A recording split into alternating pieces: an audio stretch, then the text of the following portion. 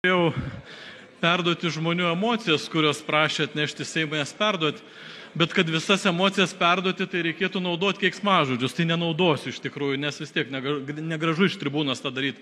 Bet vieną prašymą tikrai perduosiu.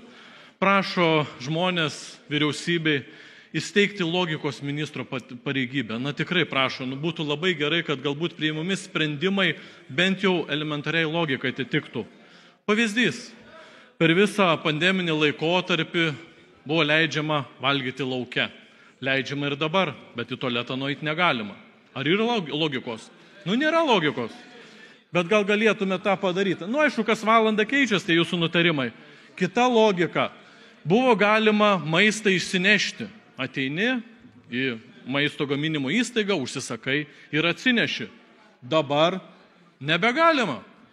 Užeiti negalima, užsisakyti negalima, išsinešti negalima, nes reikia kažkur perduoti. Yra logikos, nėra logikos.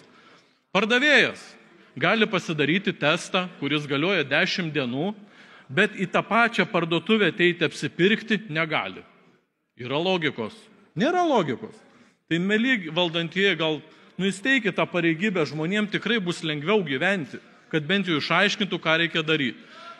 Bet turbūt jau ir tai nebestebina, paklausiu švietimo ministrės, ar yra normalu, kad studentai iš bendrabučių išmetami, kad studentam neleidžiama studijuoti.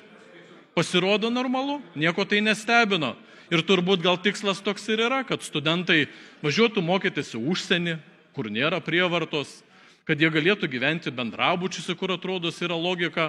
Ir tas pasakymas, kad visiems yra sudaroma galimybė mokytis nuotoliniu būdu, Deja, turbūt tik Vilniui sėdint taip atrodo, kad viskas normalu, bet vieną dieną studentui sako, kad tu galėsi mokytis nuotoliniu būdu, kitą dieną sako, kad negalėsi.